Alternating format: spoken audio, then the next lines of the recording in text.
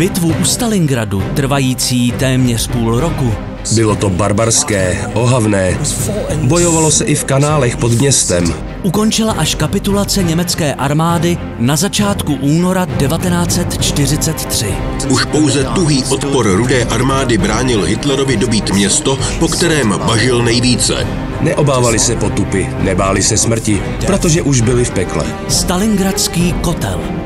Pondělí ve 20 hodin na CS History.